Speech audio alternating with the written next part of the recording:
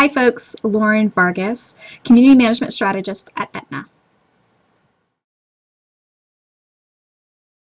So the topic I'll be speaking about at Blog World Expo is the value of a smile and it is about fusing the warm and fuzzy with the hard metrics and understanding how the offline and online blend together so that you can truly show the value of a smile. You don't have to sacrifice the warm and fuzzy for the, you know, for the hard metrics or vice versa. Why am I pumped about speaking at Blog World?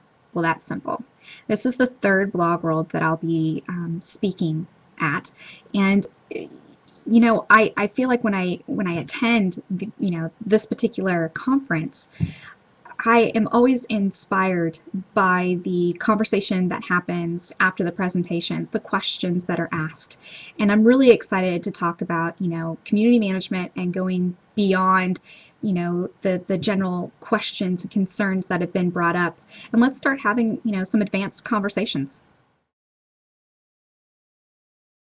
by far, Blog World delivers on content.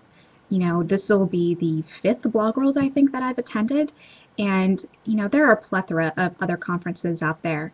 But as far as you know, experienced speakers and presentations that really you know speak to you, and you can walk away with actionable insights, Blog World Expo is the conference that you want to attend.